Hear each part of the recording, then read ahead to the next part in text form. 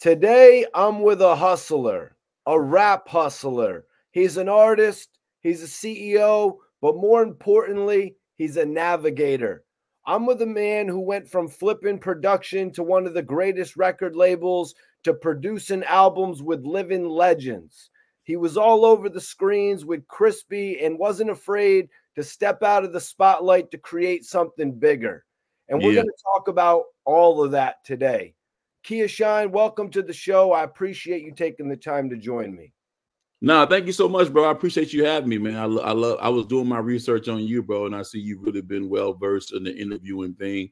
I love media. You know what I mean, and those that participate in great media and really doing the thing. So, uh, salute to you, bro, and thanks for your time for having me, bro.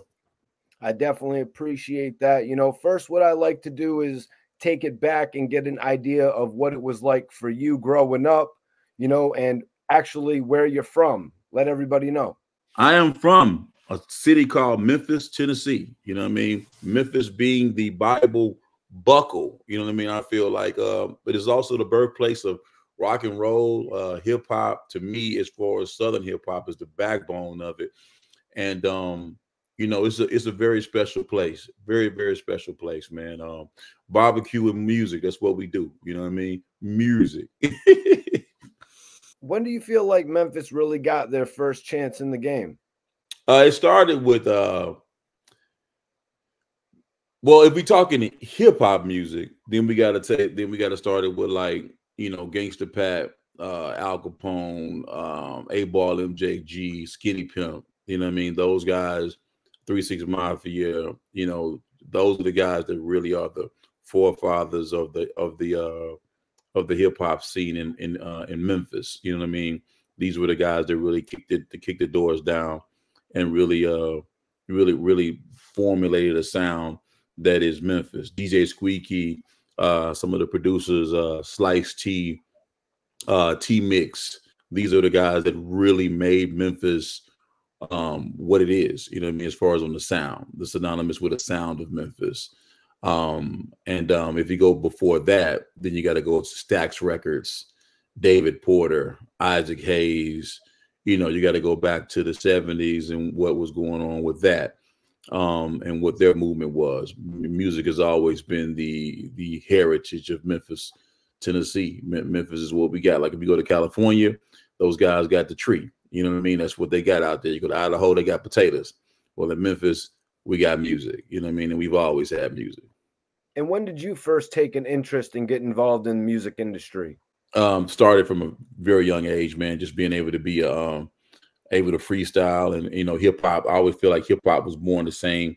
It's funny because we're sitting right here behind me. This is the key to Memphis, right here. You know what I mean? The key to the city, right there. But um, um, you got the key to the city.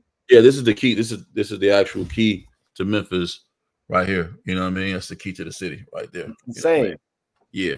Um, but uh the um it started me just freestyling in high school, you know what I mean? Just being able to, you know, freestyle and wanting to be with music because hip hop was my generation's music as opposed to blues and, and, and rhythm and blues and the stuff that was going on prior to us. That was more of my parents' music, which I still loved it. You know what I mean? It was every definitely very inspiring, but hip hop was my music. It was what made me want to get into it on the business though was a young man named uh, Ernest Draper, who was a brother of Tony Draper. Tony Draper started Suave House Records. Suave House signed 8Ball and MJG to their first record contract and, and put them putting them on the road and got them. That was a coming out hard record that really, you know, really pushed 8Ball and MJG into the game. So I knew those guys and I learned from those guys and watching those guys do their thing made me want to get involved with it. You know what I mean? God always put me around certain people that were in the game and really making a mark. So when you got these people around you, you know, you know, you walk with wise men, you become wise. You know what I mean? Um, as my mom said in her words, hang around nine broke people, you would be the 10 person broke. Hang around nine people doing it, you'll be the 10 person doing it. Rest of soul. So to me, I was blessed in the position to be able to have people that inspired me around me. You know, to be something, you got to see something. And I was able to see something, you know. So that really made me want to be able to get into the music game. And um, it's how though, the how and how I was going to do my thing that really was kind of shaped by what I was seeing and just being able to take a leap of faith to be able to start a record label and and and do that and then just to see how that just one door opens up four or five different doors when you're starting to walk towards your path. You take a couple steps towards your purpose god will take a couple pur- the purpose in, in, in the universe take a couple steps towards you and then you kind of start to kind of shape your way as you go. You kind of you're learning as you go and that's what i was doing just kind of buying my own lessons and learning as i as i went you know so what was the first opportunity that you had when you started making music first opportunity was to invest in my brother's group. Um, I was doing pretty good for myself in the corporate world. I took my, my income and put it into a record label, partnered up with a few of my friends. We called it Diamond Cut Entertainment. And we started, we had a distributor that was in our backyard, Select-O-Hits. And we started distributing music immediately through Select-O-Hits. And that was allowed me to be able to learn the game. We're trying to break a new artist and trying to break my brother's group, which was called LI and um, we put out a few albums on LI and another group called Black Kennedys, and we're just doing that, and that was just kind of teaching me the lessons and how the music thing from the from a from a boss perspective of distributing music through a distributor and having your own artist signed to you. I learned the independent game that way, and like I said, by watching Tony Draper and Ernest Draper and doing those things. All right, so I had my own. They were distributing through Select-O-Hits too, and so was Three Six Mafia, and so was a lot of the guys that were in Memphis. We had our own distributor in the backyard, so we was able to uh, put out our own music, um, like much like a lot of the markets in New Orleans or or a lot of the West Coast hip hop uh, that was coming out. They had distribution. We had distribution in Memphis through Select-O-Hits was distributing a lot of the blues records, so I was able to use those relationships and be able to put out music. So I bought a lot of lessons that way.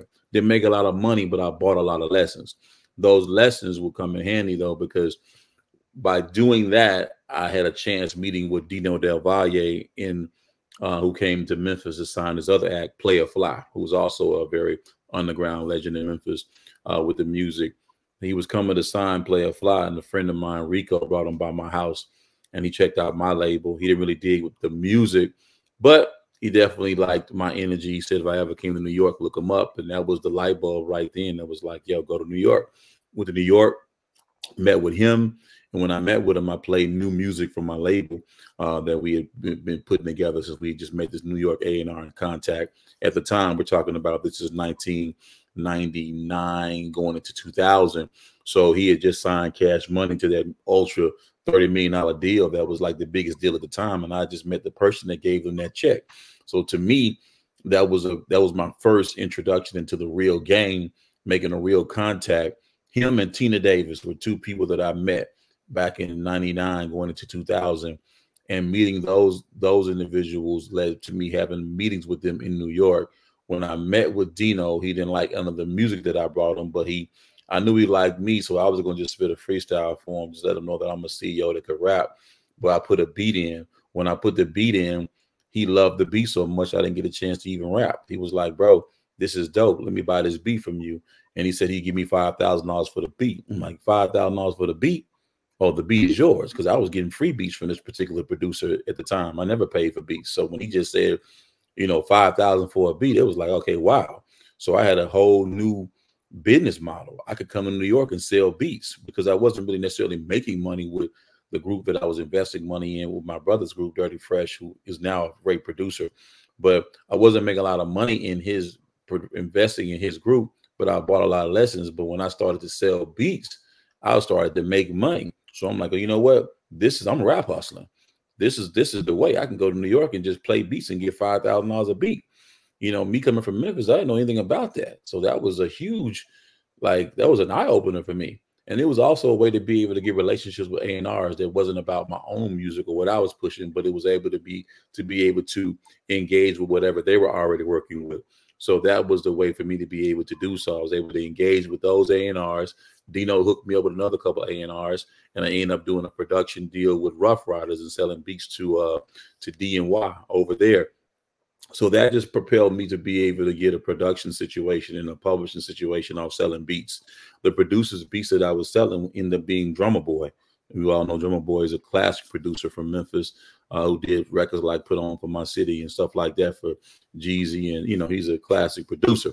But um, but he was that was who I had. You know what I mean? I was God, like I said before in the conversation, the people around me, God had these great people that were around me, and I was just open enough to be able to, okay, use these pieces that were around me to be able to to do what I needed to do to propel. You know what I mean? To excel. So um, that's how it kind of really kicked off the door and started for me is with selling beats. So how did you connect with the producer Drumma Boy in the first place? just a dope producer that I met, you know what I mean, just in Memphis and like, you know, networking or whatever, like end up getting some of his I knew his brother Insane Wayne and then rest in peace Insane Wayne. He was also a really was a good, really good producer as well, but he passed away a few years ago.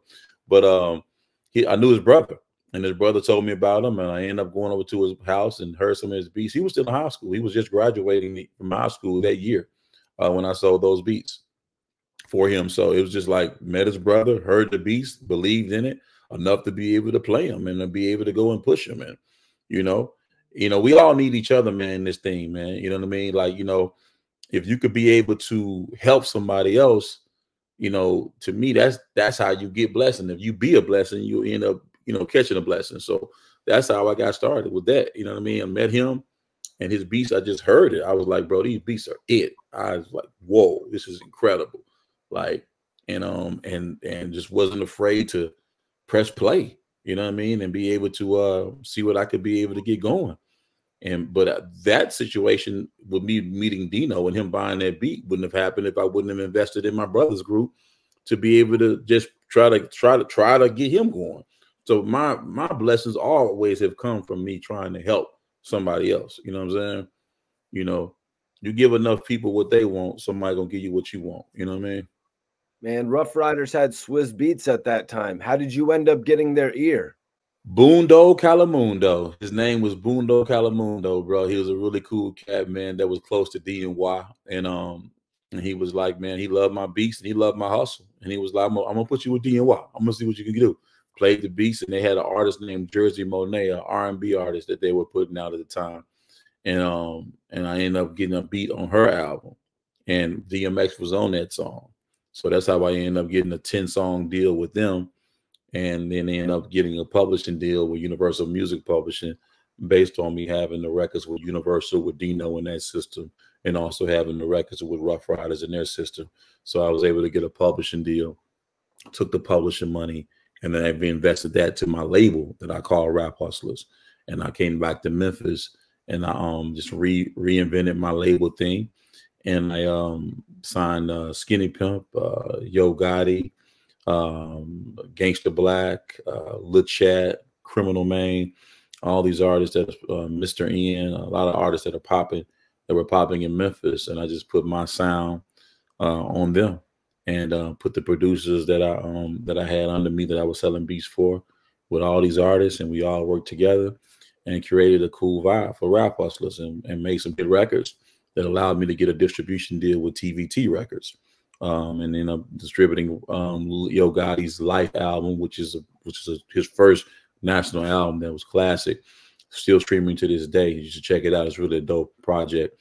Um, and um, Skinny Pimp's album too. And I was able to put those through TVT and be able to break through the same year Lil Jon was breaking through and Ying Yang Twins when they were on TVT. I was on TVT too, but I was had my own distribution deal. I, I, didn't. I wasn't signed per se to them. I just had. I was distributing through them. So um, I had a boss deal at a very young age, and I was also out, some dope collaborations with Yo Gotti and Lil Jon that yeah. you'll only find on the Life album. Exactly, exactly, and that's when when Jon was just popping off. So it was just it was just dope, man, to be able to be at that time, you know, where Southern music really wasn't accepted like that in New York. Only a few labels really got it. You know what I mean? And TVT was one, Universal was one um, that got it. So, you know, it was just dope to be able to be doing business with those labels at the time when they were like some of the only people that really good they got Southern music. You know what I mean? And I was around there pushing Yo Gotti and, and pushing, you know, for Lil Jon and pushing for these guys a, a long time ago. You know what I mean? You know, had a little flip on that album too, as a matter of fact. So yeah, man. And then um had records with Mike Jones and La Chat.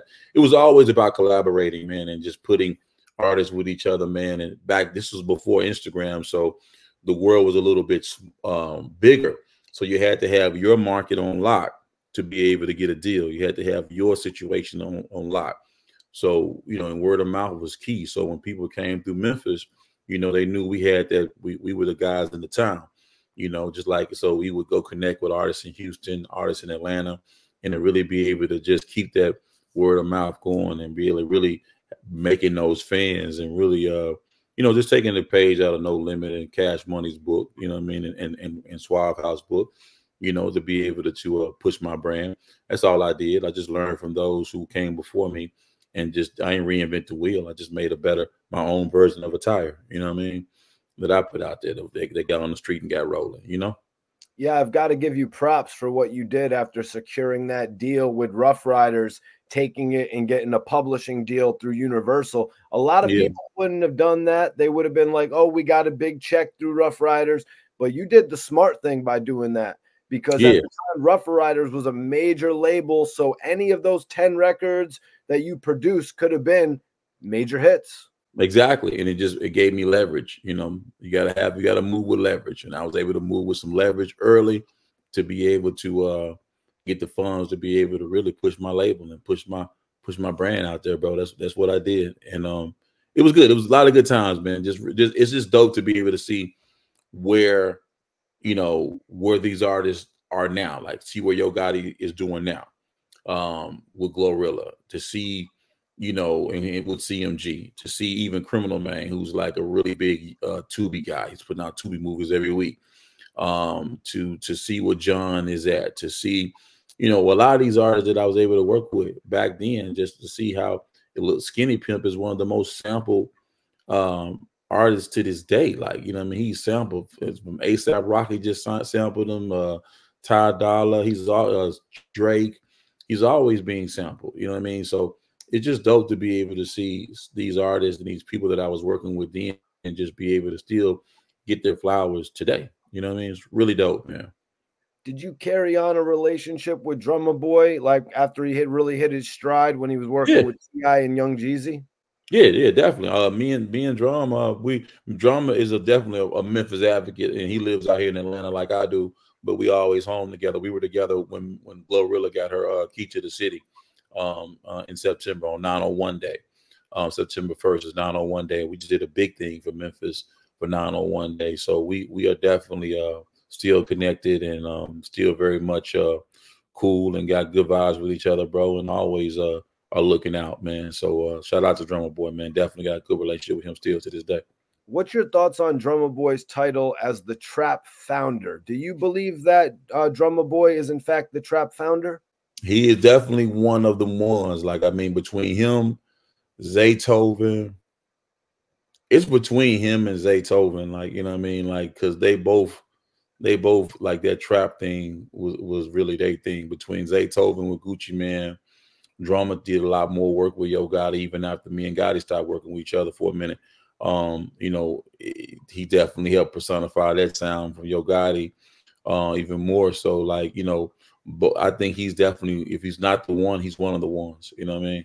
That personified that trap sound for certain, for certain did you know that you were pushing a trap sound back then? Uh, like, or did you know that trap was going to become so popular? We we just thought we were pushing the Memphis sound. Actually, like we just was pushing the Memphis sound with a little, you know, just with a little bit.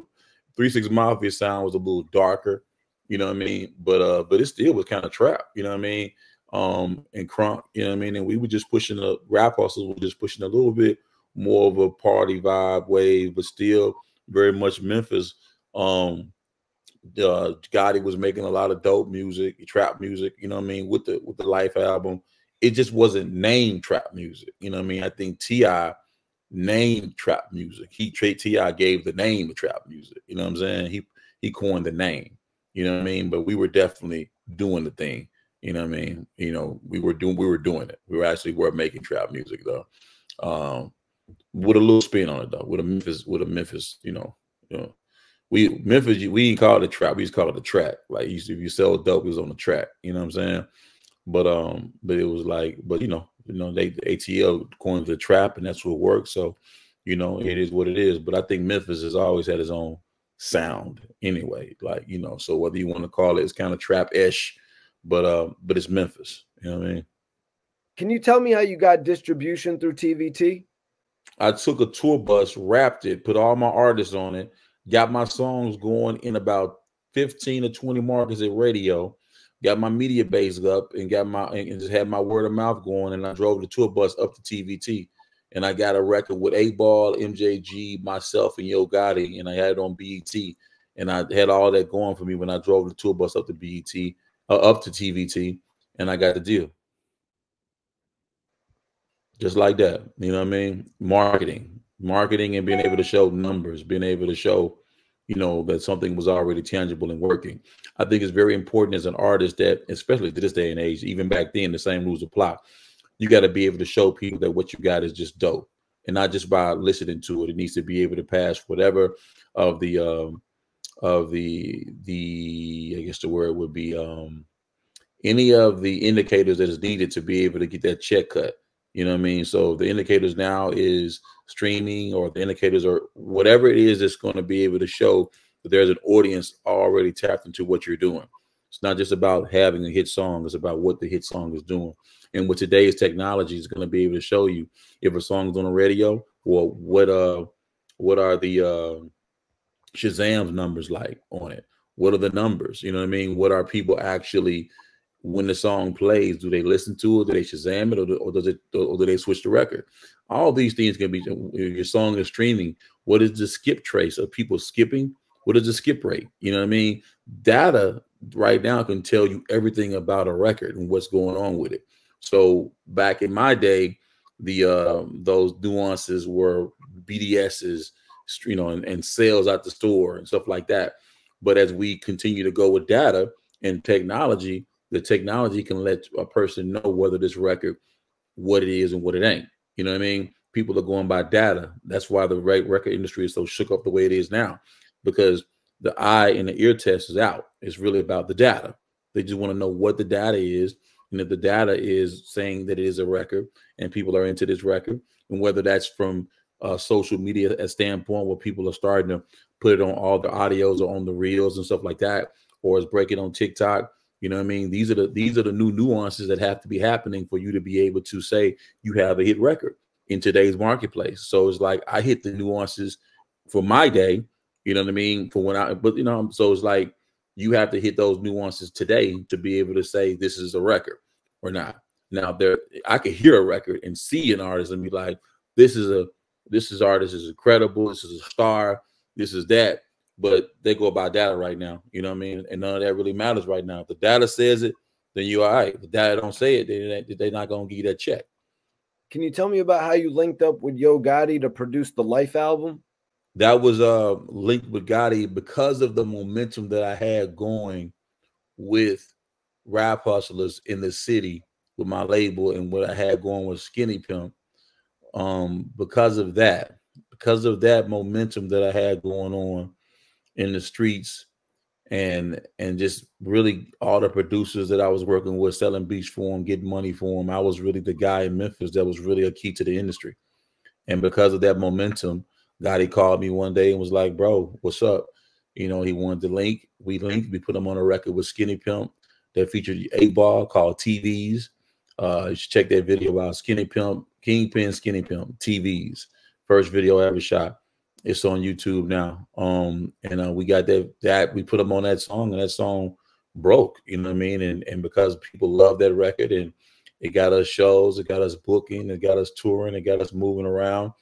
Then we uh we were able to uh we were able to you know it made sense for Guy to want to do more business with us because we had the city on lock. You know what I mean? So we uh we linked from right there. That's how I was able to do it, and and and I was able to get in the studio and just cook, man. And we cooked up some classic records, man, that people still play to this day. You know what I mean? Really was a really was a great time, a nostalgic period of time in Memphis, Tennessee. really was, man. And what was Yo Gotti like back then? You know, looking at this first album cover, Life, it was like a cash money vibe, like a master yeah. no limit yeah. type of vibe. It made Yo Gotti, I even remember it from back then, seeing it. Like it made Yo Gotti look like a big deal with that album. Yeah.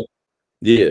Um, as you know, the covers were very important back then. As you know, pen and pixel was the was the thing back in the day. That style of artwork.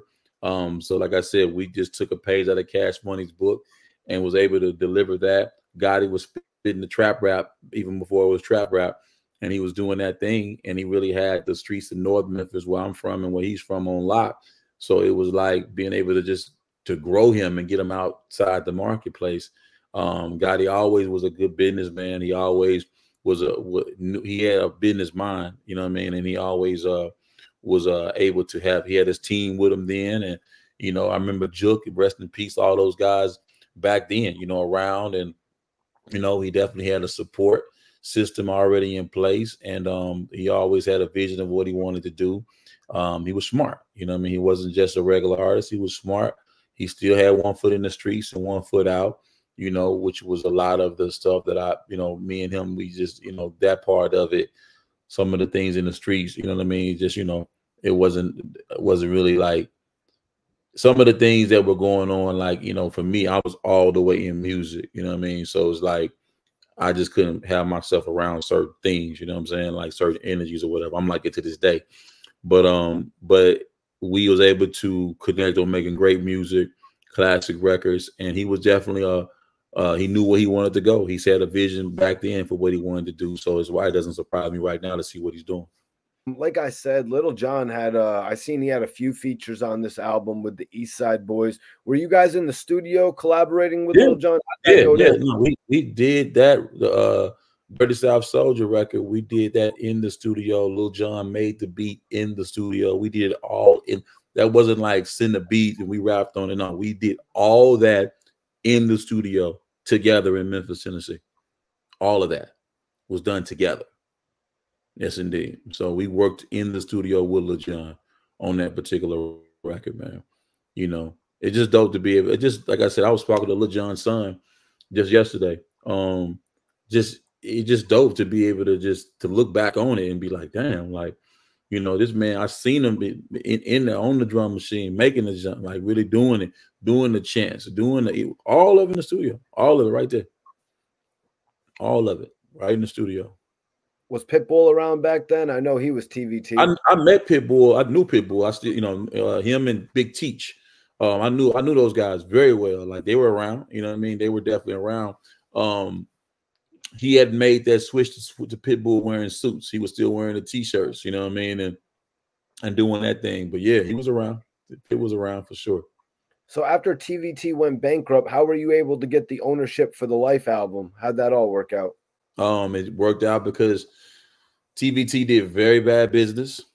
Got to be honest, they did a lot of bad business, and a lot of times when you get when you do bad business, bad, you know, that's what comes from that. You know what I mean? So, um, I think um, yeah, when he when he when he went shut down, all the, the masters reverted back to me. Um, and um, yeah, and I got them, you know what I mean? I'm gonna be releasing some more of the classic records that I put out through them um, a little bit later on, top of the year of next year as well. Like the Skinny Pimp record that I put out to TVT. It's not even on um, platforms right now. So I'm gonna re-release that. I'm re-releasing the La Chat album on the platforms and re-releasing this the uh we put out two albums on Skinny, so both of those are coming out. So yeah, you know what I mean? And it's just dope because if you look at Skinny Pimp's monthly listeners, they're crazy. And it's just like um, yeah, we're getting ready to drop those and you know, and can cash out on those too.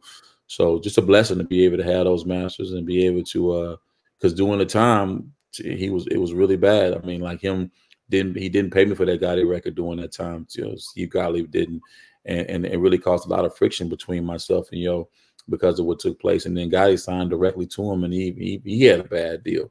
So it was really a bad. It was a that was a horrible deal, but in the end, to this day, I still may, am able to win because I able to eat off of those off of those albums now myself. So it's it's a beautiful thing, man.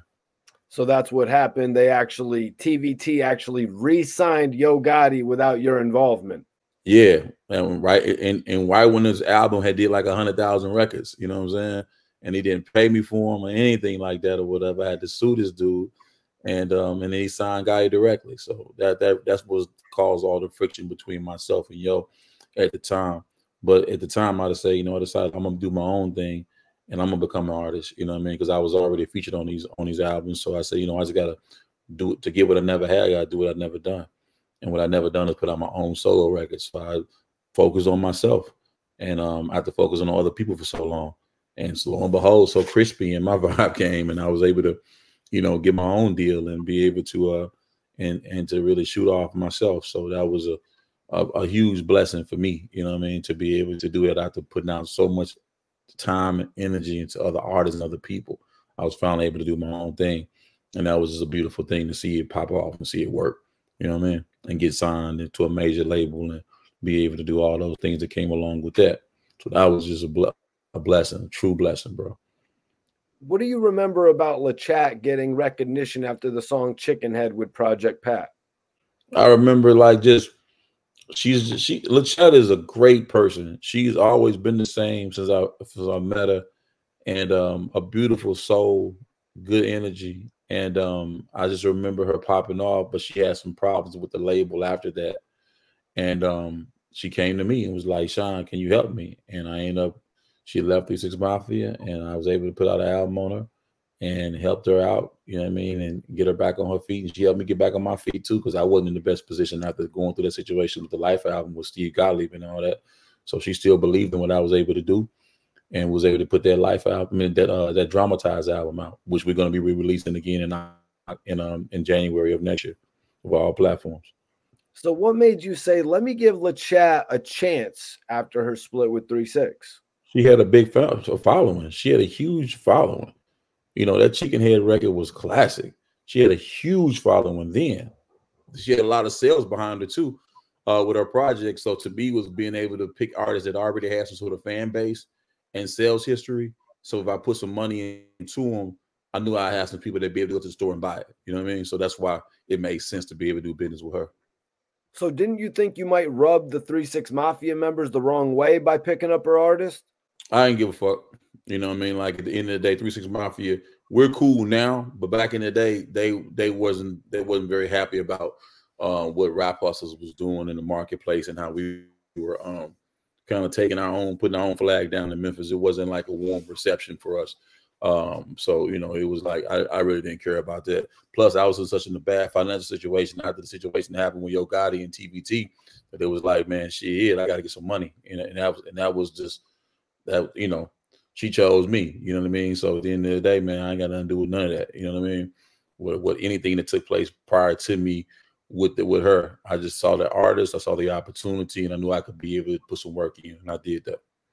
So, what do you remember most about working with La Chat? Her great energy, um, a great vibe, and just she she the same way people love Sexyy Red and Glorilla for they hood, you know, like just the hood queen, but like just likable hood princess, La Chat was already there. You know what I mean? She was there. And that's what that's what she personified with the project and just a real good person, man. So did she already have those records ready to go, or did you actually? No, no, we, no, we no, we, we, we worked on those records. No, no, we no, we we we everything was from scratch. We we you know we didn't do nothing there from from from what Three Six Mafia did. We did our own thing. So now you've positioned artists and producers what made you say it's my turn and start to focus on your own solo career? Just really, man, like seeing that I built a base of people. When I would go out, people would rap my verses that I featured on my artist verses. My I would feature on my artist music that I, the albums that I put out, I featured on them, right? So people would rap my verses to me when I was in public. They would request me to come perform songs. I would get features, you know what I mean? From people want me to book me. So I was like, you know what? Apparently they like what I'm doing. So let, let, me just put out a whole project, a whole body of work. Let me put out a single at least. So um that's what it makes sense. This is this is a, a, being a businessman. Like, okay, if people like something and you see the audience actually likes it, then you need to go ahead and service the audience. You know what I mean? Supply and demand. I'm I was building a demand, so it's time for me to put a supply out there. And I put up and, and the supply was me putting out my first single, Respect My Fresh.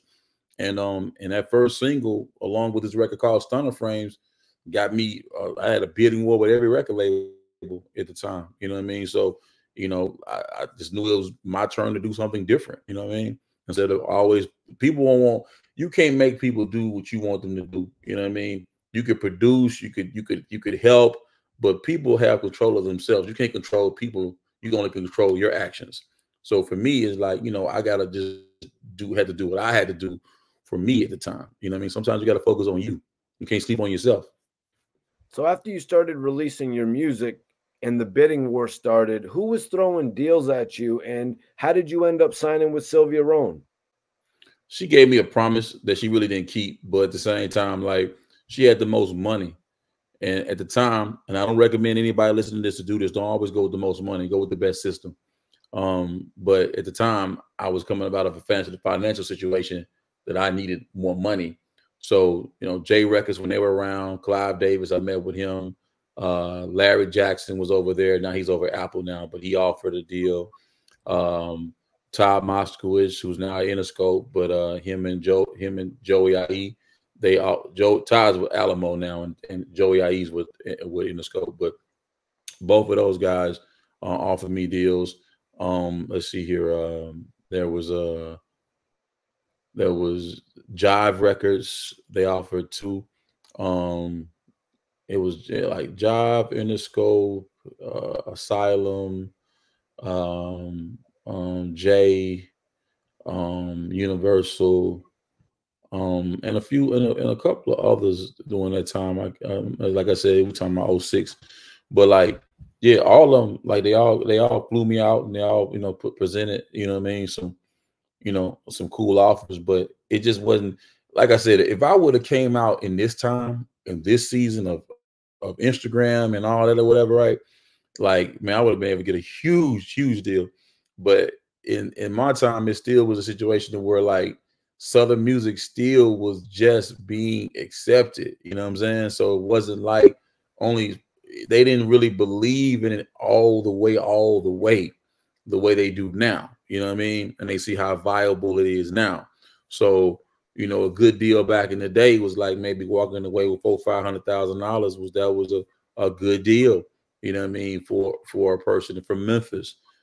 Now, man, look, it's million dollar deals coming out of Memphis, you know what I'm saying? And, and everyone got deals and everybody signed and and all that or whatever. Like so it just wasn't like that back before, you know what I mean? But it was definitely was uh was a cool process though. It made me feel good to like after working with so many other artists to finally like have all these labels calling me per se was was that was a blessing. It really was. So, what made you choose Universal? Was it a life changing? Uh, she gave me the money to the advance money, and she gave me the money to do my album. Most of these companies were trying to just give me like, we'll give you half a million dollars, but you got to do the album with that too. You know what I mean?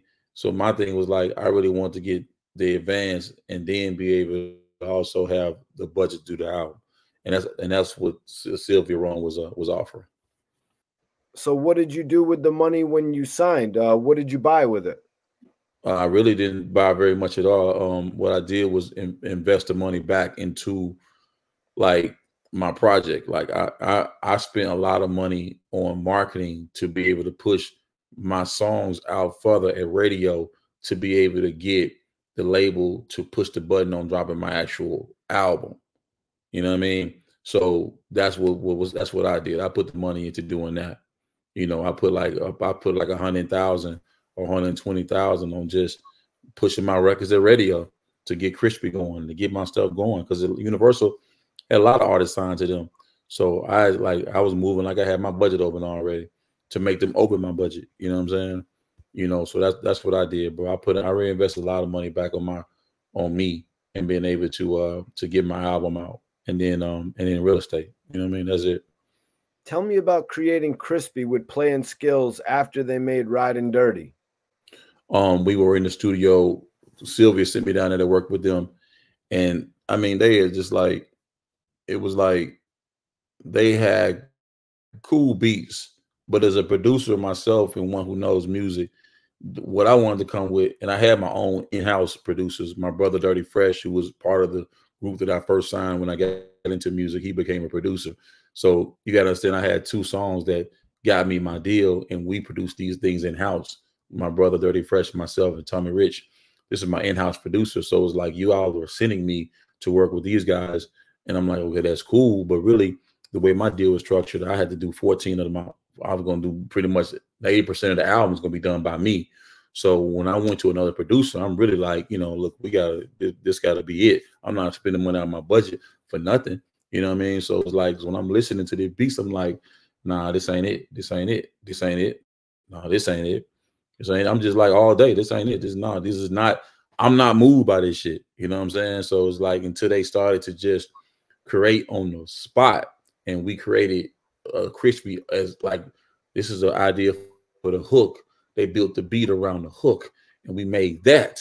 That's when we made a hit record because we were then producing together. You know what I mean? And that's how that came about. And I went and got in there and I freestyled the whole jump and got it done. Do you yeah. remember bringing Krispy to BET? Remember bringing it to BET? I'd already hosted Rap City, so I already had a great relationship with BET. I could have been the host of Rap City. I, when I signed with Sylvia, I'd already had the offer job offer for Rap City to host Rap City. I'd already hosted the interim host. My first guest Classic was Rick show. Huh? Yeah, say it again. Classic show. Yes, I, I could have been that host. I, they just let me do interim shows hosting with Rick Ross, but I was they offered me the job. Stephen Hill offered me the job, but at the end of the day, Sylvia Rhone didn't want me to be known as an actual uh like VJ or whatever. She wanted me to be known as a as an artist. So she was like, You can't take that job. I wanted the job. You know what I mean? That was a classic show. I love hip hop. I could have been able to do that, but I said I'll get back to film and television after that, that I had to do this this deal thing or whatever. So yeah, but they loved it though. What I did, I brought Krispy Kreme donuts to everybody on, on the staff when I came through with my single. He did the same thing for Universal too. When I like I was doing that with my own money. I was doing stuff like that, taking the TV out to dinner with my own money, taking BET out to dinner with my own money. I spent a lot of my deal money making relationships that I would have that I still got long after my deal was over with. You know what I'm saying? I came into this thing with eyes wide open. Like I knew Universal didn't know how to really make hit records. They just chase hit records. So it's like, you know, I just got the money and got the relationships and then parted ways really no sooner than after the album dropped. You know what I mean? I was like, because they just really wasn't on the business on promotions. And I was doing so much of it myself anyway. I'm like, well, I don't really need y'all because I'm doing this myself anyway. You know what I mean? So, um, but they gave me some good relationships or whatever that I got to this day. So I still kept on, kept those. But uh, yeah, that was a brief synopsis, a free, a brief very brief relationship. And then I went right to Empire with Ghazi. Right after that, I was one of the first people to sign with Ghazi back in 08, 09. You know what I'm saying? With Empire. So uh, you know, and I've been rocking with Empire ever since. Yep. And now look where Empire is. You know yeah, I mean? they now they like the shit. You know what I'm saying? So yeah, so like, yeah, it's just I'm, you know, that's just once again, good people always being around me and being able to just, you know, be be open to what God is saying do do next, not ever being caught up in the situation so much and not being humble. I believe if you be humble, you won't crumble and your blessings won't fumble. You know what I mean? If you be humble enough to be able to receive and see what's going on around you, you'll be able to stay winning. But it's when you start thinking you up and you and you above everybody else, you got to stay eye level. You know what I mean? That way you can be able, be able to receive and see what's going on around you, so you can know when to pivot and how to be able to keep getting it. You know what I'm saying? Young Dro and Maino feature on your song "Checking My Fresh." Fab yes. was yo. Tell me how that whole thing came together. All right, so that Dro is all me and Dro used to live in the same uh building, uh the 12 in Atlantic Station. So we lived there, and that's my guy. Like, you know what I mean? Me, I've always just dug him musically. He been he been my partner in fresh for a long time. You know, we both always been stylish and all that vibe. So it was just dope to be able to link with him. Uh C Rod, his uh, C uh his producer, whatever, like was my guy. I like at the time Dro was resurfacing again with the uh with the Ain't I record, and um he had just featured on that joint, and it was crazy. And I was like, yeah, let me go ahead and just go and get Dro because we hadn't put a record together yet. So let's put me with Dro, his producer, uh C over at Grand Hustle. I already had a great relationship with T.I. and Jason Jeter and all those guys. So I put that record together. We recorded it at Grand Hustle. And then um and then I did an interview with Satellite Radio and Maino heard my interview and dug my interview or whatever. And when I saw having to see him out one day or whatever, bro, and I said, bro, let me play you this record. And I played him the record. He was like, bro, this shit crazy. Let me hop on it too. So then he hopped on it. And then we shot the video at this spot called 10 Pin at Atlantic Station where me and Dro both lived at. And um, there was a bowling alley and um, just just a great time, bro. You know what I mean? All came together. One of those things where like, you know, you know when it's supposed to be or meant to be when you don't gotta force it when it just flows like water from a faucet you know what i'm saying it just flows like you know what i mean and that was one of them ideas that like i heard and then jay-z jay-z sampled me when he said i heard how to dress it by checking my fresh you gotta understand the song that got me my deal in 06 was a song called respect my fresh You know what I'm saying? I was the first person to come out and be like, like my to, to come on that like my fresh being that thing, being that like my fresh. There's a as a as a thing, as an entity, or my fresh being that, like, and just saying it in that manner, and with with in that uh in that vernacular. You know what I mean? Um, so Jay Z cool back then. Yeah, that, that, was like my like my fresh, like nobody was saying it. I it said that. It became, yeah. It, it, became one of the things back then. Yeah. A lot of people from 2024 might not understand that though. Exactly, but that was like a thing. You know what I'm saying? That was like a thing. Like you know what I mean? Like um like saying the word gang today. You know what I'm saying? What up, gang? You know what I mean? Like that slang. It was like one of the things I started. So when Jay sampled it, I sampled it. I was like, that's me anyway. I sampled it. Quick story. So fast. So this comes out. I didn't even clear the sample. I did not clear the sample with Jay Z. The song is a is the MTV Jam of the Week, so I know he's hearing seeing it. I never cleared it at all because he got it from me. Okay, so if it wasn't true, then he would have tried to sue me or something for sampling his voice, right? He never did. Likely. Yeah, it, he never did. Never did. When I'm talking to Big John and Gee Roberson, when I'm negotiating my money from Drake Best I Ever Had stuff, because Gee Roberson was managing Drake at the time, Big John comes on the phone and says, You know, you at the time, this is 09, when the best I ever had just comes out, and checking my fresh is out. And they're like, Yo, Jay talked to me about this checking my fresh song, but you know what I mean? Like they're trying to act like he didn't try to come at me, you know, so don't try to come at them for the for the for the best I ever had record. I said, no. How you that's no, no. First of all, Jay-Z got the, the phrase from me. That's why he didn't sue me or do nothing about that. I told them that. Big John handles all Jay-Z's publishing. I told him that directly. So he let me know Jay knew about the song. But I said, no, Jay didn't come not give me didn't, didn't come sue me because of that. He knew I came up with that first. First of all, second of all, what you gonna sue me for? Well, I got an MTV Jam of the Week video. I'm an independent artist. What you gonna do? You know what I'm saying? Like what? You know what I mean? He ain't finna really get no bread off me. You know what I mean? Plus, I came up with it. So at the end of the day, nothing ever came out of that. You know what I mean? Nothing. But I sampled Jay Z and did not at all clear it at all because he sampled me was saying that particular line because that was from me, and everybody in Memphis know who came with that my fresh thing first. So yeah, just a quick story.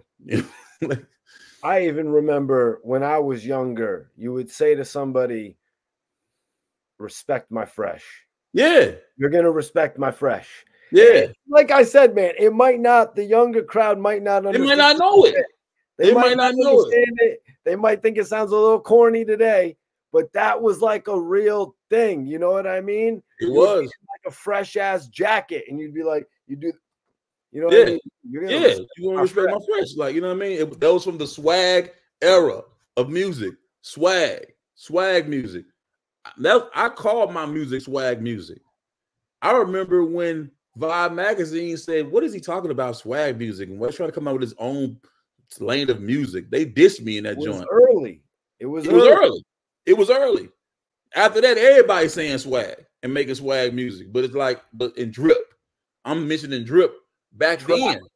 You know what I'm saying? Drip Trap, rap. Like we were talking about earlier. Yeah. You know I mean? Yeah, but it it was early. It just was early. You know what I mean?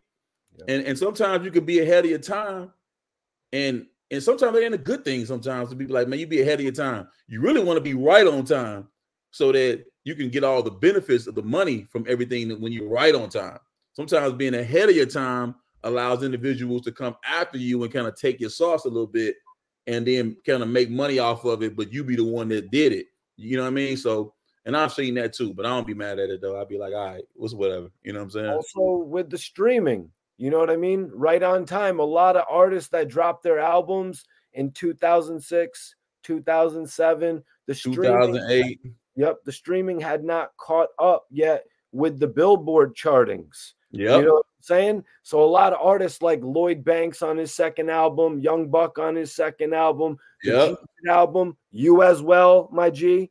A yep. lot of got screwed out on your record sales because yes, of how we did. changed a few years later. Sure it did. It sure did. It was the ending of an era and the beginning of another one. And it just, it was just, just wasn't the right time. It was like just ahead of our time. And that's just really what it was, bro.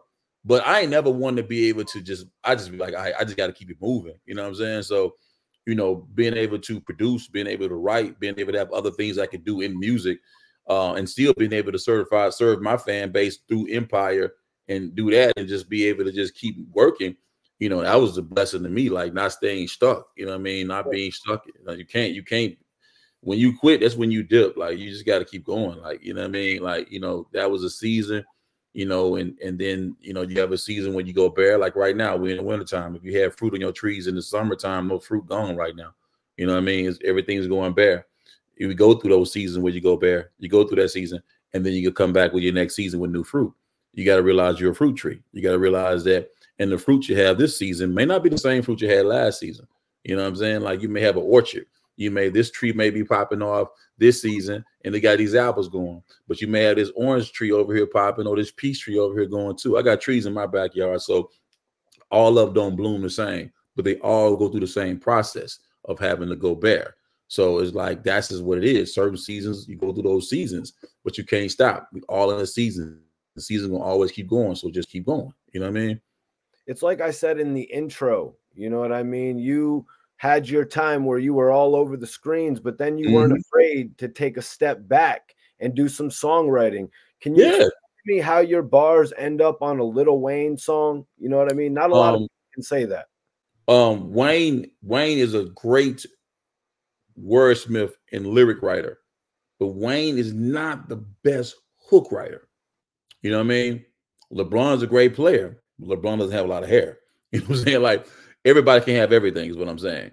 So ultimately, like Wayne's ability to make to spit when I bring beats to Wayne in his studio, because I already had the relationship with Wayne since 02. So now it's Wayne on fire, a Millie Wayne, and I go to Hot Beat Studio and I bring beats in there to be able to play Wayne. First of all, the fact that I got access to Wayne to be able to even do that in the time when he's selling a million units in a week, let you know the respect is already there. Number two, I go, I play the beat to Wayne, and I tell Wayne what the hook is. I always, when I bring beats to, to studio sessions, even I was just working with Slim Jxmmi from Rae Sremmurd two two nights ago. When I bring beats, I have hooks with the songs so that an artist can be able to just get in their bag real quick and we can get these songs done. So that's how I come. So when I came with the hook, we can do it real big, bigger than we ever done. I be up on everything the other niggas never on it. So just do it for the boy. Bam. Wayne records that and lays the verse. Okay. Then Drake, as paying homage to the person that signs him, Lil Wayne, ends up using these verses, that verse and that hook in his own song thinking he's just paying homage to Wayne. But what you're not knowing is that on the publishing side of that, Kia Shine owns those lyrics. You see what I'm saying? And that beat. So when you sample from Wayne, you didn't just sample Wayne, you sample from me too. So I had to eat from that. And that's why you sample my music. But at the time, he's a young artist. He didn't know better. So when I'm telling him I co-wrote it, niggas is thinking I'm in the studio writing for him no, I'm not writing for Drake. The song, the, the beat and the hook that I did for Wayne is what ended up being on Drake's record. And I got a co-writer credit, which I got these BMI awards for right here. You know what I mean? And over here, you know what I'm saying? And a few more around here around the room for the writer credit for that particular song. And that's really what it was. You know what I mean? So you had mentioned building uh, respect with Lil Wayne. How did you even get to that point where you and Wayne were on that level of respect? Well, I mentioned earlier in the interview that Dino Delvaille, who so who I sold my first beat to Universal, signed Cash Money. So when Cash Money was in Memphis for the big fight, Mike Tyson fight, they Dino introduced me to Wayne to to Baby them and all that or whatever because we were the hottest niggas in Memphis at the time. So that's why I was able to make that relationship from even back then to 02. You see what I'm saying? Then you also said you had purchased some Little Wayne. Uh, I bought a verse from Wayne. I bought a verse from Wayne in 02 to be on the Skinny Pimp project I put out Still Pimping and Hustling through TVT. So I bought a verse for 10 bands for Wayne back in 02. So we had the relationship since then. And I produced that song. The song was called Do What You Do, featured Wayne, myself, and Skinny Pimp. So when you go and meet up with Little Wayne for that feature, is it something that he records right then and there? On oh, yeah, he came to the, we, we did it at House of Blues Studios in Memphis at the time. We did it in the studio. Yeah, it was that he did it every, like back then. It wasn't no sitting beast out. It was come to the studio. You in Memphis, let's get it done. So Little Wayne comes to the studio. How long does it take him to knock out the verse? What's the vibe? 20 minutes. I paid I paid the money to, to Mannie Fresh because baby wasn't there that day. I gave the 10 bands to Mannie Fresh. Wayne go in there, knock it out 30 minutes. Done. So then your relationship changes with Wayne to the point where you can just bring him beats and hooks. Yeah. That's what relationship. That's why I tell artists one time when you sometimes when you're paying for for production and you're paying for beats or you're paying for a verse, you really start to get that relationship with that artist, especially if they're doing it with you in the studio. You know, it becomes that open line of communication. And if you're real and that y'all connect on a good level, you know, you never can tell what a relationship will go from there. You know what I mean? So it's always important to to you know, you got to spend money to be able to make money. But if you spend with the right people, you know, I spent 10 with him, but guess what? Well, I'd have made way more than 10 back with being relationship. You know what I'm saying? That 10 I came back way many times over. So, you know, it's very good sometimes to be able to just, you know, I ain't saying you got to buy your way in the game, but you do got to be able to pay respect and literally sometimes pay homage. You know what I'm saying? So Drake sampled Do It For the Boy on Best I Ever Had. When did you yeah. realize your lyrics were featured on Drake's record? Uh, a DJ from New York sent me the record because he thought I was he, a DJ from New York sent me the record, and he was like, "Why did you sell the beat?" He was trying to plug me the same to sell the same beat to Jaheim. So the the the, the DJ who was trying to connect the dot, it was like the beat that was on Wayne mixtape that I did. The, the song it was called "Sorry for the Wait." "Do It for the Boy" was the name of the song. Jaheim wanted that beat. This particular DJ wanted to connect me with Jaheim to sell the beat to him because Wayne just did it on the mixtape. So I was like, cool. Then the DJ called me upset, thinking that I sold a beat to Drake and I was supposed to sell it to Jaheim. And he thought I cut him out of it. I said, send me the record. When he sent me the record, I was like, oh man, this do sound like my shit. But my nigga, I didn't sell this to them. You know what I mean? So if a DJ heard it and was like, yo, thought this shit was the same, I was like, I know my publisher will. Send it to my publisher. They say, yeah, this is definitely sample from your music. The musicologist says yes. 25% of this song should be rewarded to you. And I was able to get all my credits and stuff from the song or whatever before it even got to payouts for the PROs, before even came to having to sue. It was already switched over. So it was a, and then Wayne also bought the original track that I that he rapped on too from me as well for 20,000. So, you know what I mean? It was all a blessing to me. All that happened before So Far Gone actually came out? Yep. So I ain't had to sue or nothing. I was already listed as Ian, you, Ian Coleman, which is my name, Nakia Coleman, was already listed as a writer. So when it came time to pay out or whatever, I ain't had to sue nobody. I was already in the system. So, you know what I mean? It was all good. Drake made a statement where he said he borrowed one line from Lil Wayne. What were you thinking when that came out? I think that, um, like I said to Angela Yee during that time, I said, you know, our people fell through lack of knowledge. And I think that um you didn't borrow one line. We can do it real big, bigger than you ever done. I'll be up on everything. The other niggas never, you know what I'm saying? Like, you didn't just borrow the lines, you also borrowed the cadence. You also borrowed the flow. Your producer also sampled the same record that I sampled to make the remake the beat again, uh, which was from Playboy Records. Um, Hugh Hefner had a piece of that too. So you took a song and you just re you broke it down and boy wanted to reproduce my beat. And then you took some of the lyrics and y'all just remade that vibe. You cannot take lyrics, cadences, vibes of mine and think I'm not finna come get it. I'm coming to get it. I'm like, what what Denzel say? I'm leaving here with something. You know I'm, I'm leaving here with something. I'm from Memphis, man. I'm leaving here with something. I'm from around the way. You can't do that. You, are taking from mine. You know what I mean? and I'm not influencing for no. I've already did plenty of influencing, and you gotta understand, I didn't charge Wayne for that beat when he rapped on that song for his mixtape. I didn't charge Wayne nothing for that, but that song was just a mixtape song. Drake's on number one. I gotta eat. I gotta eat. Was Drake just simply misinformed? Like you borrowed a line from your man who borrowed a line from someone else? I mean, Drake just was misinformed at the time. He sampled plenty of Memphis artists after that. Now he understands exactly how it was, how it goes now. He just was young at the time. You know what I mean? So when we had a conversation about it at a Grammy party back in 2010, you know, I accidentally walked into his Grammy party because we both were nominated for a Grammy, but I was just coming to a club that was popping on Sundays in, in LA happened to walk right into Wayne, happened to walk right into Drake. And we had a conversation about all of it. You know what I'm saying? So he just was misinformed. You know what I mean? You know, you don't have to sit there in the studio me writing with a, with an artist to be able to get the money off of artists. You know what I'm saying? You know, if you sample your work, you're going to be listed as a writer on that work, and that's just the business. You know, and he just wasn't misinformed about the business at all. And I don't chart, I don't, I don't hold that against him. You know what I mean? He just didn't understand. He was young, but he know how the business go now, and that's why I won. You know what I mean? Do you think this was an issue of Drake being exposed to having ghostwriters so early in his career, possibly being affected by that in the long term? Yep. Um, now I see why he was so upset about it.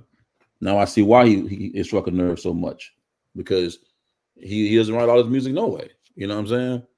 He doesn't. He doesn't, and it's okay for to get bars from this person or that person or whatever. Like, it, it, man, it's about the finished product. It, it's okay. You know what I mean? I don't think it doesn't make him less of a great artist. When you sign a contract, it's the recording artist, the art of recording. So he's a great recording artist. That's what he is. When you get a Grammy, it's for the recording art, the art of recording. So he is not about it, that's what it's for. It's just the way you can record your voice, your music, how you record it, the art of how you do such. It ain't about you know, who get the credit, this, that, and the third. It just, you know, some artists know how to write all the way out to begin to end. Some need help. It's okay. It's okay if you need help. But just don't pretend like you don't when you do. That's all. Just be honest, be transparent. So I wanted to ask, what are your thoughts on the Kendrick Lamar and Drake battle? I thought it was a great classic hip hop battle. I think it was due. I think if Drake was due to catch an L, I think it just, you know, he was just due to catch an L. You know, uh, we all nobody's perfect out here. You know, um, it was cool, cool battle, but at the end of the day, bro, Kendrick just is a is a, is a is a different animal when it comes to that, and and Drake, the, the, Drake does not have his own sound. He does not have a city where he can be able to say, This is the sound of my city, and I'm going to put my whole city on my back to go against you. Kendrick went to the West Coast sound and put the whole West Coast on his back and made them be like, We're going to support our own over someone that's an outsider. And ultimately, that's how he won the battle because Drake truthfully play me a play me a Drake. Drake has a sound when he sings his songs, yes. But give me a sound that's synonymous to his city. He's not really from Memphis, so don't say Memphis. He's but he does well with Tay Keith and Memphis producers. But he's an actor and he's able to, he's a recording artist, a great recording artist. So he's able to emulate whatever he's hearing He's able to to do that well. But when Kendrick takes it to his core of where he's from, Compton, California, and produces that sound, you cannot fuck with him on that. You can't, there's nothing you can do about that. You know what I mean? And Drake, that's how Drake lost. Because you cannot do anything about that. There's nothing you can do about that. Nothing you can do about that. There's nothing, there's nothing you can do. That's why he won. He took it back to that. Not like us, West Coast, over with. You know what I mean? It's just it's not even fair anymore. You know what I mean? Drake don't have a, can, a Canuck sound, a Canada sound. What are you gonna do? Like, you know, yeah, even if Canada riding with you, y'all ain't US. It was a perfect, it was a perfect shot. It was a it was a dead shot. You know what I mean? He just he just he used it was he just he, he killed him. He killed him. Nothing you can do about it. It was just, you know, it's just nothing you can do about it. Certain things you can't change. You can't change that you really from Canada. You can't change that you really ain't from here. And Wayne said it. Wayne said Drake would be cool as long as he keep rapping about the lover boy stuff, the heartbreak Drake stuff, the women. Don't get involved with this street shit. He'd be just fine. Wayne said that. There's a clip of Wayne saying this out there. If he would have did that, he would be just fine. When Drake tries to go hardcore, somebody gonna pull your car, boy. You know what I'm saying? And that's what they did. You know what I mean? When you go hardcore, they're gonna pull the boy car. That's what they're gonna do. You know what I mean? And that's just what it is. A lot of time when you become great and you get a lot of power and a lot of money, a lot of success, great people do they start the ego and their ego get full and they get full of themselves and stuff and they start doing crazy stuff like throwing parties and doing they doing powerful shit and start doing dumb shit with you know just doing things that are just pushing their power. You know when drake sometimes is doing things to show that he got the power you know what i mean? But really you're not really cut like like that you you you ain't cut like kendrick from the cloth of compton you ain't really cut from that gang culture. You ain't really cut from that side. You know what I mean? So when someone really breaks you down, then it's like it just it becomes like it becomes an exposed. You're exposed, and 24 has been a year of exposure. A lot of people have been being exposed this year, not just on music. Just it's a lot of people. Year of being exposed, and Drake was exposed. That's all. He was exposed. What do you think of J. Cole backing out of the whole big three beef? I don't like it. I lost respect for J. Cole. And I know there are going to be some people that say, You're not. I'm they they I have a flat I had I had an interview I did on um on the Memphis Grizzly podcast. And when that happened, I said that's not hip hop Drake. I mean, that's not hip hop J. Cole. And I got some flat some feedback. They were like, as a man, why do you want someone to be able to to to to to to lead to violence and all that. No, no, no. The Kendrick and Drake thing did not lead to violence. There was no violence. Okay. This is not and Big. This was two lyrical individuals that had the opportunity to go head head to head, pause, with their skill set. And it was not going to do nothing but just go there if you had something that need to that you, you, J. Cole bagged out because he may have was going to get exposed, you know, and that's what he bagged out. Cool, but don't be on them records like on that first person shooter record and, and, and all that or whatever, saying what you're saying about how you ready to come at you number one, you numero uno. You talking real reckless on these records. But when it came down to it, you really did not bag up what you were spending.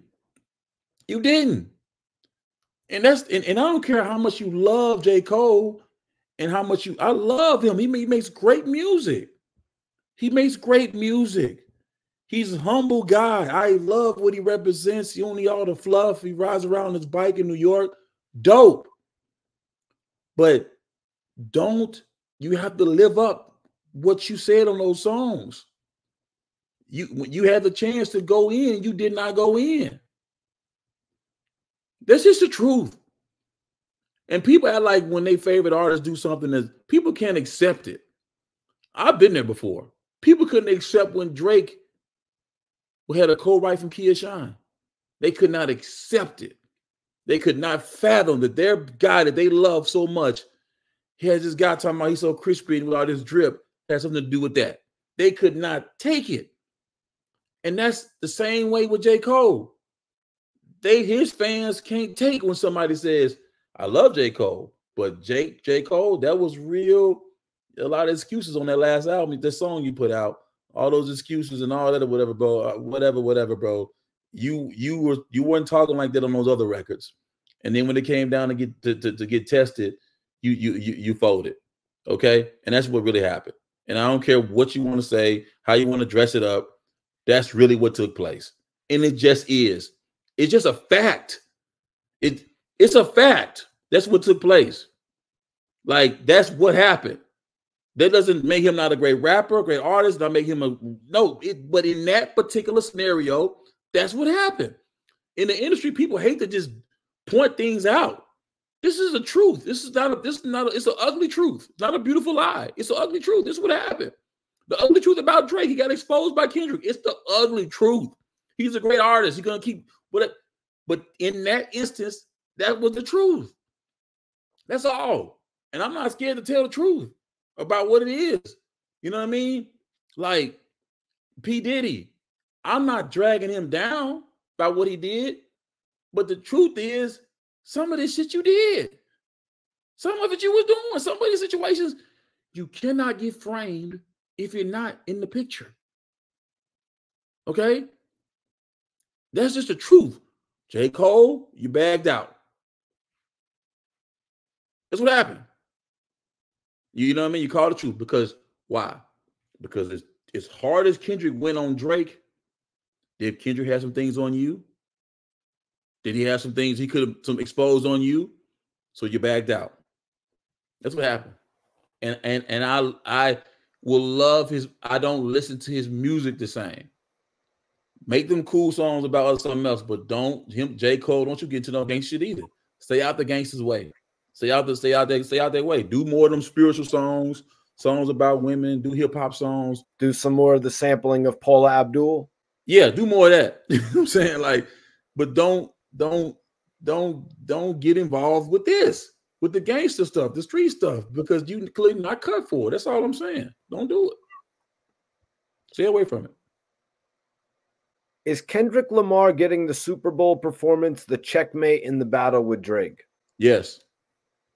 Yes, he is. Big as the who? Big, big as the Super Bowl.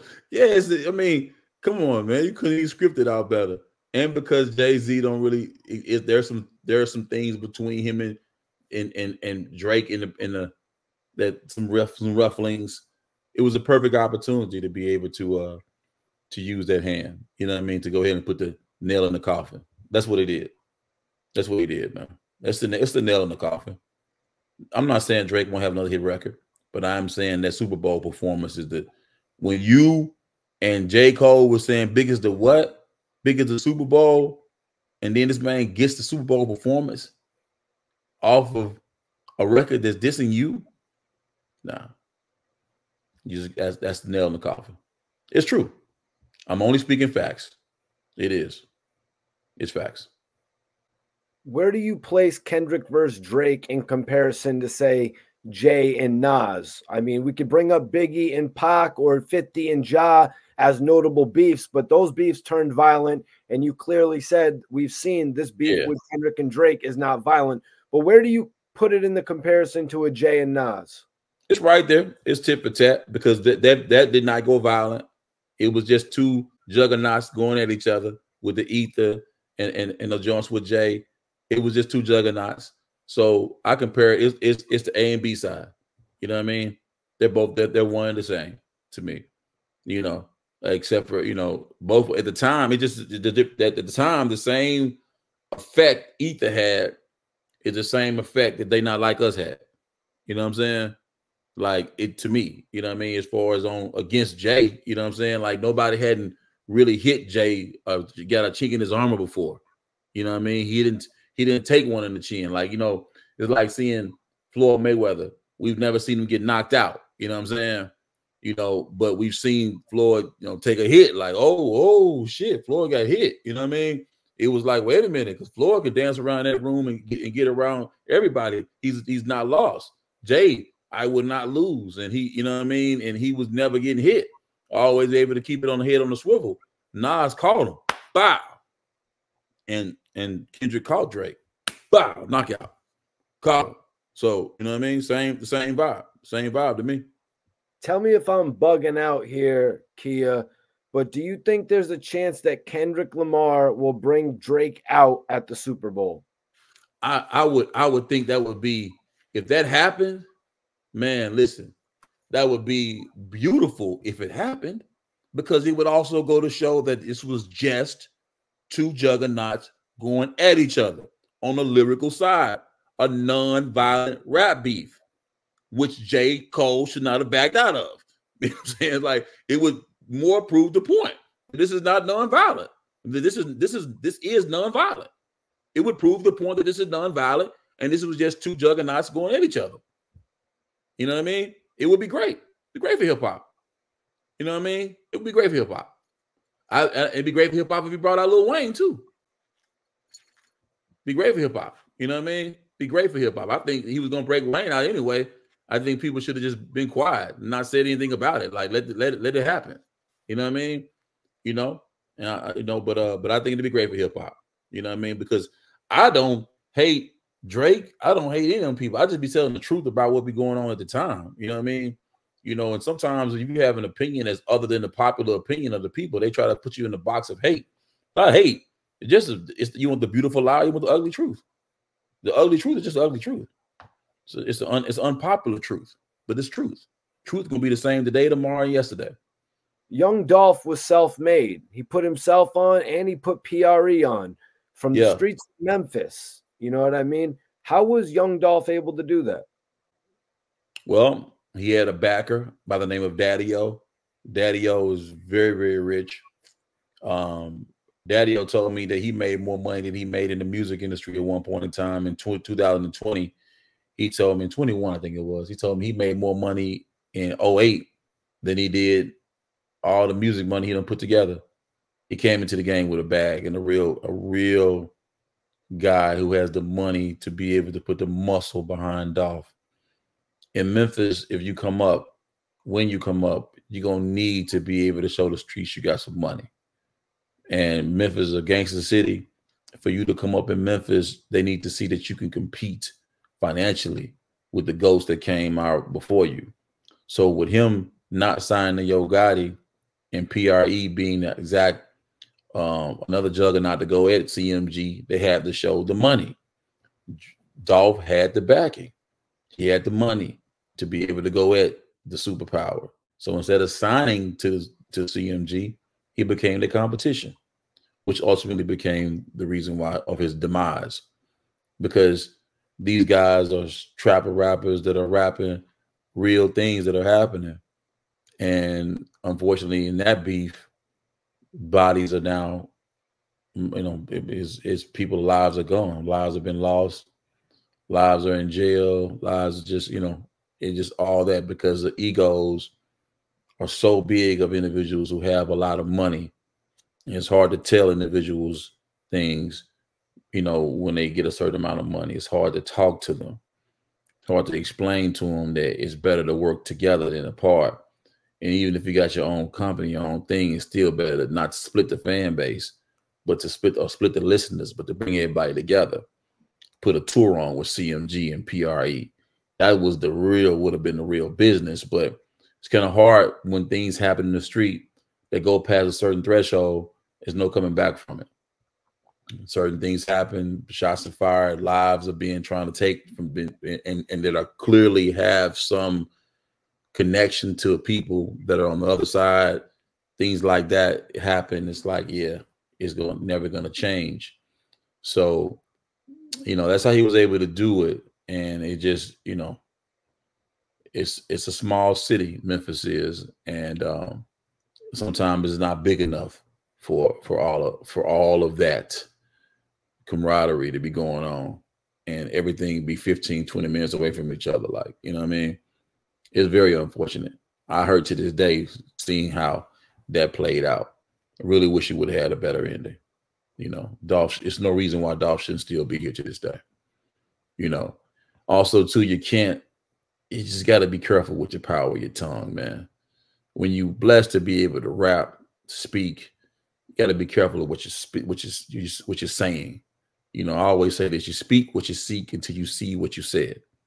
Okay, so if you keep speaking certain things or antagonizing certain people or vice versa, or keep certain people, man, take that stuff to heart and they're gonna react, you know. And um, every action has a reaction. And I think both sides can see that. And I bet both sides in some kind of way would want it to change. You know what I mean? But you know, it's just sad. It's very sad. I mean, me knowing Dolph, work with Dolph, got a song with him called "You Could Tell" that I did back in 2017 with him. Um, just a good dude, man. Father, leader, but um, you know, just you know, just gotta, man. I hate those mistakes we made. You know, I was blessed with the opportunity to do interviews with both Yo Gotti and Young Dolph. Mm. What did you make of Young Dolph's decision not to sign with Yo Gotti and just do it on his own? I think it was a good decision. I mean, when you have the money like behind you, you don't have to sign to. If you can be a boss, be a boss. You don't have to sign anybody. Just keep do it all yourself. If you if you can finance your own thing and employ the right people, do that. Or do that. You know what I mean? Um, I just think like you could do that without downing the next man, though. Like, you know what I'm saying? You could do that without I just I don't believe, you know, I, I, get it though. Sometimes, man, people do things and make it mad and make you you, you want to go off on them on record and stuff like that. I get it, man. But like, I just wish that you know that didn't happen. Though I really wish that they they could have been able to like get there. Just been two juggernauts in the same city. Like Atlanta got so many juggernauts in the same city. You know what I mean? Just to be able to just do that in the same city, man. But I, that ultimately to get as far as you got out of Memphis to let people from Memphis bring you back down. Just this just it defeats the whole purpose. How have the streets of Memphis changed after Young Dolph's death? Have you seen change? I haven't seen change. I think you have some people that recognize the vitality, the the, the recognize the what's the word? I think people recognize their mortality.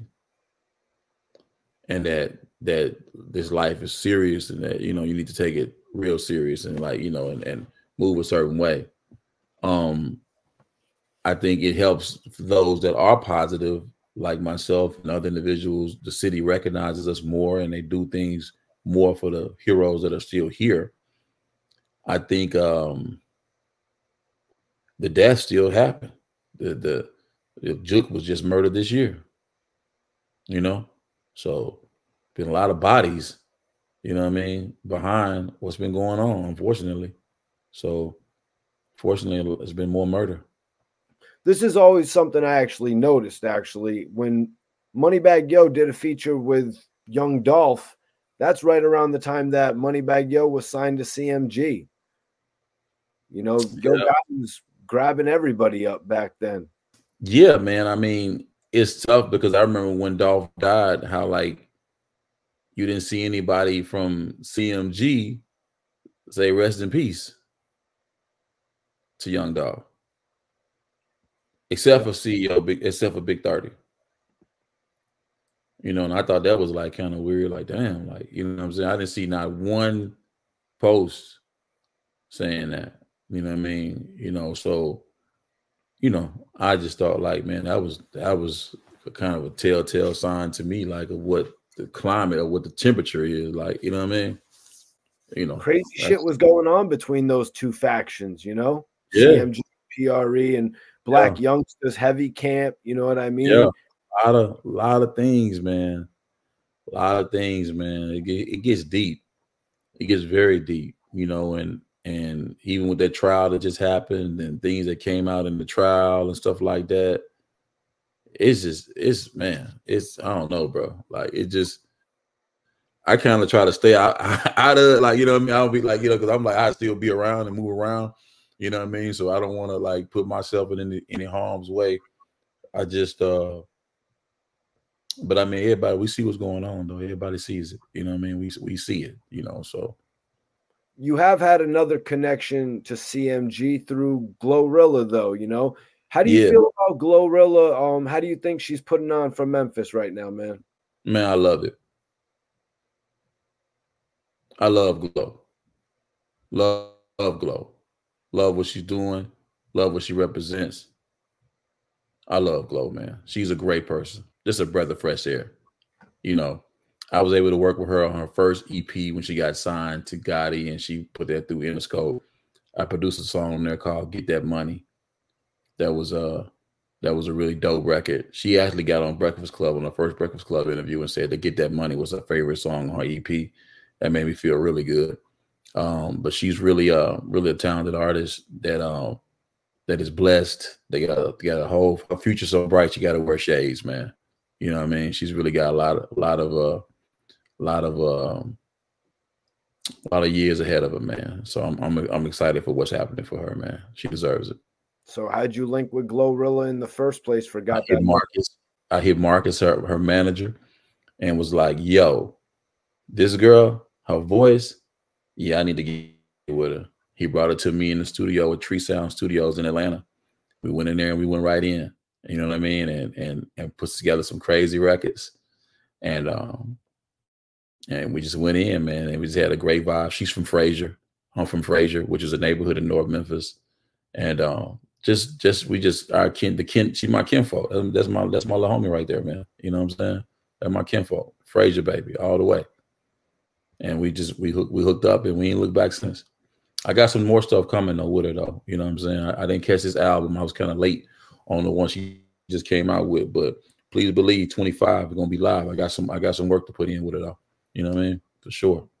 So right now you're still producing. You've actually got a podcast. What else do you have going on right now? Uh, film and television has really been um has been as of late the thing I've been on. Um, basically, um, I um have a movie coming out with the with The Rock. It's called Red One. I have a part in that. Um, it's coming out November fifteenth in theaters.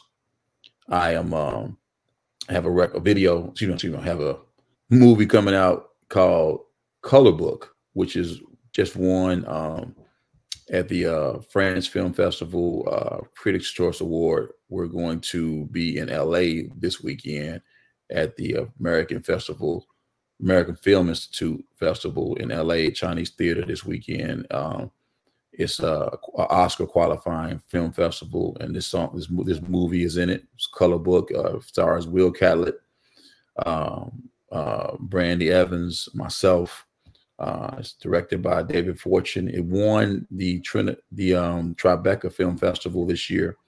Uh, AT&T's Untold Stories.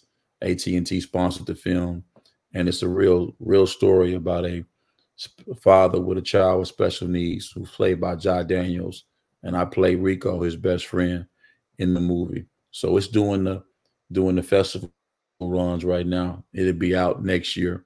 So that's I'm doing that. Um, of course, uh, this year I had Half Baked, Totally High, which was a remake of uh, Dave Chappelle's uh, classic that came out on Universal Film Studios. Um, it's out now. Um, of course, I've been doing like Superfly. I was in that. Um, they cloned Tyrone last summer, which was a big movie. I was the first thing you saw when that movie came on, and the last thing you see when it went off. Um, so I've been definitely making the transition to film and television, um, which has been super cool for me. Um, got some really big things I'm working on for 25 um, that uh, you guys are gonna see. Can't wait for y'all to see. But it's some two big, two big television shows that I'm in for 25. Um, so they got me on the the the, the uh, non-disclosure thing, so I can't say what it is, but it's two major ones that are coming for 25 uh, on the Starz Network. I can tell you that. Um, but um, so yeah, the film has been going on. We did the first uh season of Immediately Kinfolk podcast, working on a new um, I did it through World Star the first time, but now we're looking at possibly doing it through Tubi. Um, we've got a few offers for it. We're kind of working out the scenario with that because I got some interviews that I ain't released yet. Um, that's with some pretty big people. So um working on that still. So uh Immediately Kinfolk podcast of course, I'm doing the um, my nonprofit with my wife, uh, autismadvocates.org. Um, it's a, our nonprofit for autism. We have a son, 13 year old Jameson, who has autism, non speaking autism. So, um, so we that's what we do. Um, we different, not less. We blessed by the best. He has a different ability. So I definitely make sure that I am using my voice to bring awareness, inclusion, and acceptance to to that community. So you know you want to tap in with that. That's autismadvocates.org um as far as that's concerned. But um it's a beautiful thing, bro, that you're doing, man. No, thank you so much, bro. So we're we're definitely, and it's just so blessed that this movie Color Book is about a special needs child. He has Down syndrome, but it's like to be able to give my experience as a special needs parent with to you know because I'm doing a Q and A with this movie as well, and being able to do that, it's just been it's been great. It's been really great. So I can't wait for y'all to see the Color Book when it comes out on the platforms or what have you, man. But it's a great, great movie. Um, and I'm ready to see how this rock movie comes out because I got prosthetics on my face and we we it's Amazon studio movie. It was a huge budget and I got some cool parts in it. And I'm can't wait to see how it comes out as well. And uh, did you get a chance to act Me with the rock? Yeah, I, I, did a fighting scene with the rock. Oh, that's crazy, yeah. I did a and that's why I just can't wait to see how it all comes came out, bro. Because I did a fighting scene with dude, bro. How many days were you on the set for this? We did it. We filmed it from November of 20. What it was 20 uh, 22 November of 22 till March of 23 is when I was that, that yeah November 22 to March 23. How how many days were you on set? Like we was out like four or five days a week. You know what I'm saying? And it's because my character is like a is like a it's a tech merc, right? So we're like this group of guys that work under this lady who's like a a, a mean Snow White, you know what I'm saying, or whatever, right? And so it's like even if I d- didn't have lines that day, I may have something I'm doing um on this on in the in the set, you know what I mean? Like whether I'm moving something or whether I'm whether I'm just you know just moving to whatever she her commands are. Then I had some days where I did have lines, you know what I'm saying? So it's like, but it's like the, to keep the continuity of our crew, these tech mercs, we always had to be there. You know what I mean? So it was a good payday. And it was also a lot of great experience too to be able to just see some of these greats work. You know what I mean? And then the fight scenes and stuff like that. It was a lot of a whole lot of things going on, bro. You know what I mean? A lot. So when you're doing a fight scene with The Rock, is he using a stunt double at all, or he uses stunt doubles until it's time to do the real scene? Then he does. Then he comes in and he does it. You know what I'm saying? So did he give you any advice about acting? I mean, he just. I mean, he just. He just like. It wasn't really about giving advice. I think when I first met him, it was like I told him how when I played on Atlanta, season two of Atlanta, my first role when I was opposite of Donald Glover, and his lady said, You ain't gonna work that much because you tall. And I was like, damn, why would she tell me that? I was gonna say something smart back to her, but I was like, yeah, just like, all right, whatever. But I told, but I thought in my head, I said, damn, the rock is tall. You know what I mean? I'm thinking about other people that's tall. I'm like, so when I met him, I said, bro, I'm gonna tell you, I told him the story about what happened on Atlanta. And I was like, you know, uh, but now I'm sitting here on a movie with you. And he was like, Yeah, bro, anything can take place, bro. Anything. You just keep working. You know what I mean? and just we just had a good vibe, bro. Just a good energy. You know what I mean? I I, I tried not to like bother dude too much. I just like actually just did a lot of watching. You know what I mean? And just observing his skill set and how he worked and what he did, how he did what he did. You know what I mean? And, and that's what I did. Just watched a lot and got a chance to be a fly on the wall right there, watching him work. You know what I mean? And being able to pick up a lot of things by seeing what he was doing and how he did what he did. So I got that game right there from him. You know what I mean? because I was able to his actions. I was able to learn from his actions. Did you have any scenes with Chris Evans, Captain America? I, I, didn't, I didn't. I didn't see Chris Evans one time. Not one time when I was shooting.